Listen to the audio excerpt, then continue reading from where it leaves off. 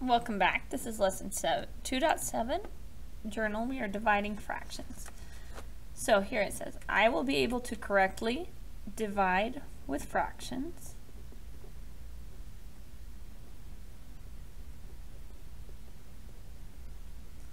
I will use and estimation. To make a connection with multiplication and division.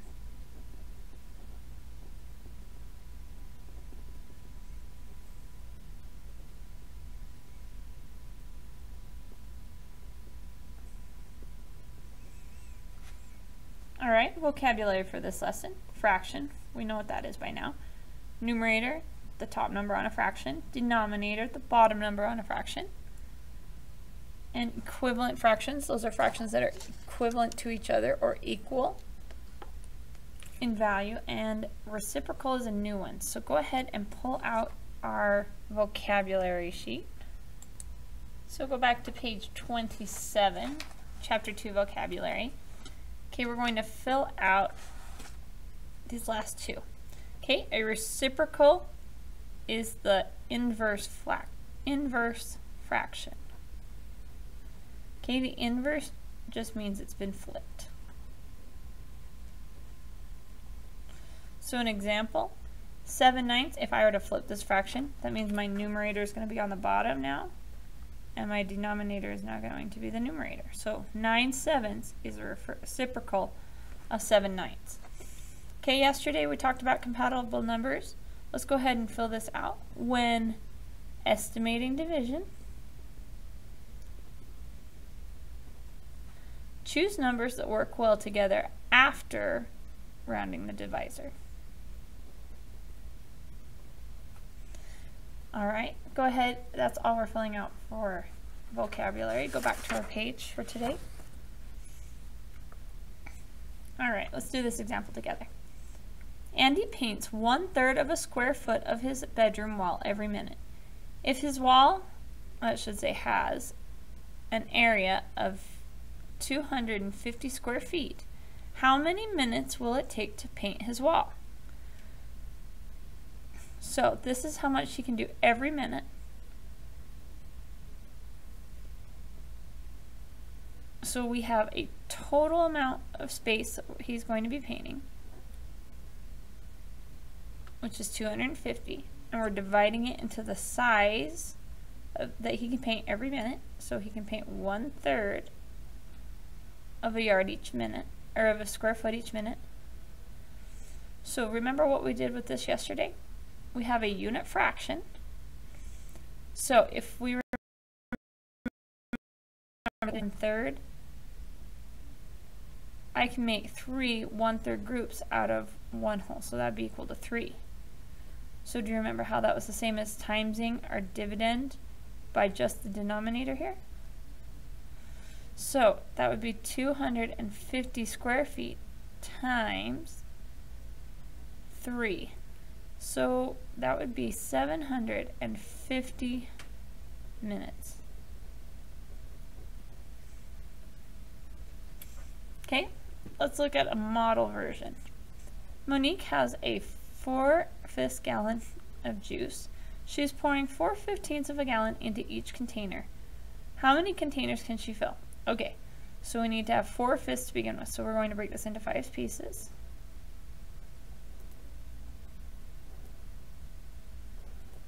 So five equal pieces. Now get your yellow highlighter and let's shade four of them.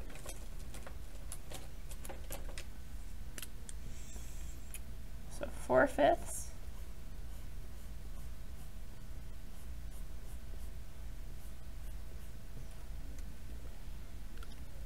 4 fifths, and now we're trying to divide it into groups of 4 fifteenths.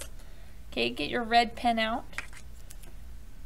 I currently don't have this divided into fifteenths, but since this is already divided into 5, if I cut it this way, now I have it broken into fifteenths. And we're pouring 4 fifteenths of a gallon into each container. So I'm going to take 4 fifteenths and put them in one group. There's 4 fifteenths. There's 4 fifteenths in another group. And 4 fifteenths in the last group. So if I were to write an equation for this, it would be 4 fifths divided by 4 fifteenths. And from our model, we can see that we got 3 containers worth. I was supposed to say containers, sorry, that is really poor handwriting. All right. So here, what is a reciprocal? It's a flipped fraction. So we are going to find the reciprocal of each fraction here.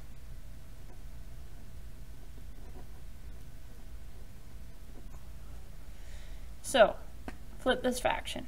3 fifths, that means 3 is now going to be on the bottom, 5 is going to be on the top. That's pretty simple. What about for 13 seventeenths? Or sorry, 13 over 7. Well, 7 on the top, 13 on the bottom. What about 6? Well, I have 6, but what's the top of the fraction? What's the bottom? I want you to remember all whole numbers can be written over 1. So the reciprocal of 6 over 1 would mean 1 on the top, 6 on the bottom. Okay, now this, a lot of kids would want to write 1 and 7 over 2. You've got to turn this improper before you can flip it. So let's turn this back into an improper fraction. So 1 times 7 is 7, plus 2 more is 9. So this is equal to 9 sevenths. So the reciprocal of 9 sevenths would be 7 over 9. Now, how can we use the reciprocal to help us solve fraction division problems? Well, I want you to look up here at this example. Notice how we times by 3. What was our divisor? It was one third. What is the reciprocal of one third? Wouldn't it be 3 over 1? Okay, look at this example. 4 fifths. The reciprocal of this would be 15 over 4. And what was different over here? It was divide. I could rewrite it as times. Well, because you are doing the opposite of timesing when you divide, by flipping the fraction, you're actually going to undo that. So, you can keep the divisor the same. You can write the reciprocal of the divisor and you can multiply and get the same answer. So if I were to do this, we already know the answer is 3 from looking at our picture. I can cross cancel 4 and 4, so 4 would be divided by 4 once and once.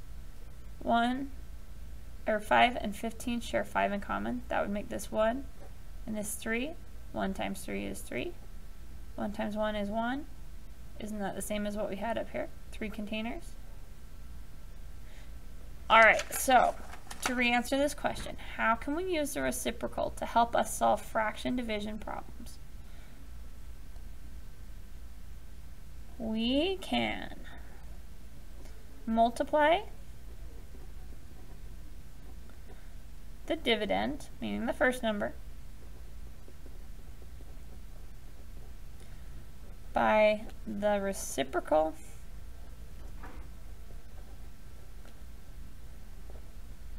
of the divisor. So we can multiply the dividend by the reciprocal of the divisor. Okay, dividing fractions is as easy as 1, 2, 3, as long as you remember to KFC. Keep the first. So keep the first the same flip the second.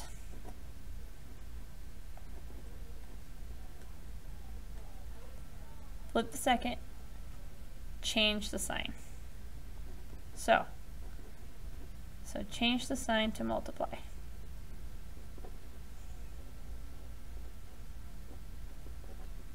So,